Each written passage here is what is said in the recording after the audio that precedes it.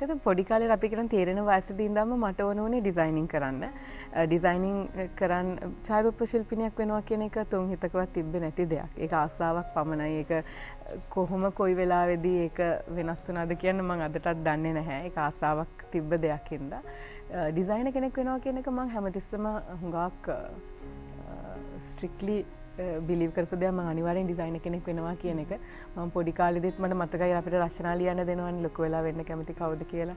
ති මගේ මට මතක පන්තේ හැමෝම ලිව්වා ඩොක්ට කෙනෙක් වෙනවා ලොය කෙනෙක් වෙනවා හෙමහෙම ම ලිව්වා ම ෆැෂන් ඩිසයින කෙනෙක් වෙනවා කියලා. ෆැෂන් ඩිසයින කෙනෙක් වෙන්න හිතුනේ. ඔබට කාගෙන් හරි ලැබුණු ආභාෂයක්ද ඔබ දැකපු දෙයක්ද ඔබට පුරුද්දකින් ආපු දෙයක්ද කොහොම දෙකෙන් ඇත්තටම රසික දැන් හිතල බරද්දි මට එහෙම මේකමයි කියලා කියන්න දෙයක් නැහැ. ඒත් මගේ ආච්චි හරි ෆැෂනල්ට කැමති කෙනෙක්. ඉතින් යාගේ ඉන්ස්පිරේෂන් එකක් එන්න ඇති සහ අපි දකින දේවල්.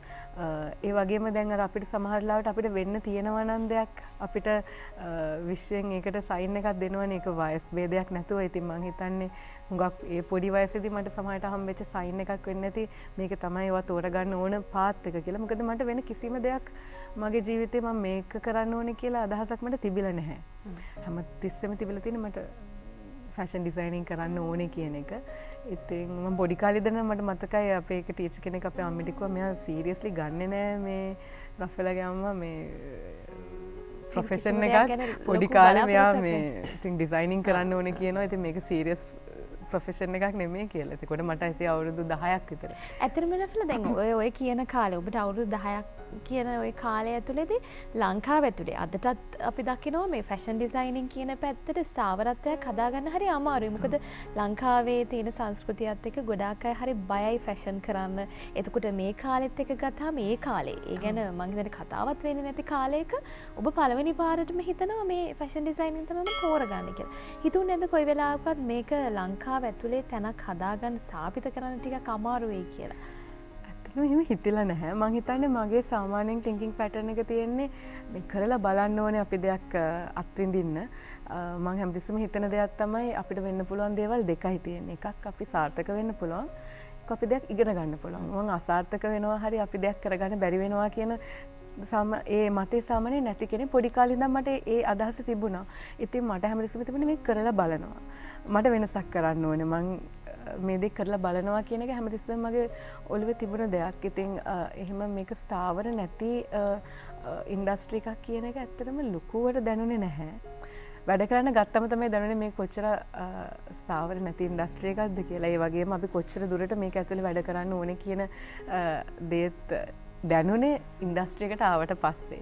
එන්නස්සල්ල හැමදේම සුන්දරයින අපිට? බලද්ද හැමදේම හරි ලස්සනයි. අපිට හිතෙන අපිට මේක ඇතුළේ ගොඩා දෙවල් කරන්න පුළුවන් කියලා ඉතින් අවට තමන් කැමති දේත් එක්ක ඉන්න එක මේ හරි තෘප්තියක්නේ එක කැමැත්තෙන් කරන එක. අනිවාරෙන්ම මොකද අපි සෙල් සටිස්ෆක්ෂන් එක නැත්තං මංහිතන කිසිම දෙයක් අපිට සන්තෝස වෙන්න බැහැ ඉතින් අපි දැන් අවුදු මන්ද අවුදු පහලවකින් ඩස්ටික ඉතින් අවුදු පහලවක් මට මංහරි සන්තෝසිෙන් වැඩ කරන්නේ. මං මං කිසිම තැනකද මට හිතල නැහැ දැන් ඇති මේක මට දැන් කරන්න බෑ කියල මන් හැමදාම් හිතන්න. දැන් අදට වැඩිය හෙට හොඳ දවසක් වෙයි හිටට වැඩි ඊළඟ දවස ඊට වැඩිය හොඳ දවසක් වේ කියන හැඟීම තමයි මට හැමදාම තිබිල තියෙන්නේ.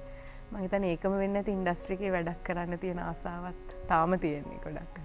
ඒ දැන් රැෆිෝ කතා කරන්නේ ජයි වර්තමාන තත්ත්වයක්ත් එක්ක ගලපලානේ. සාමාන්‍යයෙන් මේ මං චුට්ටක් කැමති මේ පවුලේ තොරතුරුත් අහන්න මේ හේතුව තමයි දැන් අද ඔබ යම් තැනක ඉන්නවනං ඒ වෙනුවෙන් ෆැමිලි බැකරවුන්් එකින් එමනැත්තම් පවුල් පසුබිම තුළින් ලැබෙන තල්ලුව සහ දිරිගැන්වීම පුංචි කාලිනං කොහොමද ඔබට ලැබුණේ? මුල් ගම්පලාත කොහෙද? පාසලකද ඒ විසට කතක් බෙදා මම මගේ ගම කන්දාන එතකොට මගේ තාත්ත ව්‍යාපාරිකයෙක් මගේ අම්ම හවස් වයි් කෙනෙක්. එතකොට මට අක්ක කෙනෙක්කින්නවා මයි අක්කයි විතරයින්න අක්කේ ෆ්‍රෙන්ච් ලෙක්ෂර කෙනෙක්. ඉතින් එතකොට මං ස්කෝලගේ සෙන් රිෂට් කොන්වන් ශාන්ත ිෂට් කන්යාරාමේ එතකොට මට සොඩි ඉදම්මගේ එක මිස්කෝලට එතින් ඉස්කොල මාරුවක් වුණේ නැහැ එහෙමයි හිටියේ. එතින් මහිතන ගෙදර ගෙදර හරි සරල පොඩි කාලයක් තිබෙන මට. මොකද මායි අක්ක දෙකයි ගත්තම අපි හරි කන්ට්‍රාස්ටයක් නැතැන් පරස්පර විරෝධි චරිත දෙකක් මගේ අදහස් වෙනස්. අදහස් වෙනස් හැසිරීම වෙනස් මගේ අක්කීට හුඟක් හොඳ ඉගෙන ගන්න පුළුවන්. ඉතින් ස්කෝල හැමදාම ක්ලාස් එකේ බෙස් රිසාස් ඕලෙවල් බෙස් රිසාල් සේලවල් බෙස් රිසාස් ගත්තෙක් කෙනෙ මම හුඟක් සරලව ජීවිතය විඳපු කෙනෙ මොකද මට පොඩි කාලේ අවුදු දහයතරනකන් ඩිස්ලෙක්සිය තත්ත්වය තිබුණා. තින් හරිට ලියන්න කියවන්න අපස්ථාවයක් තිබුණා. හැබැයි පස්සේ ඒක තේරුම් ගත්ත එක මේ ලර්නිින් ඩිෆිකල්ටිය එකක් ඇරෙන්න කෙනෙක්ගේ මානසිකව හරි අප අධ්‍යාපනික ගැටලුවක් නෙම අපි ඉගෙන ගන්න පුළුවන්කමත් තියෙනවා මොකද මං ඊට පස්සේ හුඟක් ලියන්න කියවන පටන් ගත්තමට පුළුවන් වුණාට පස්සේ.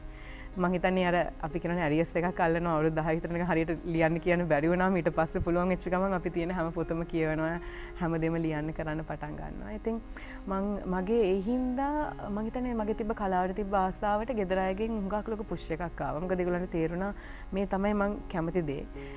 මේ තමයි මං කරන්න කැමති දේ කිය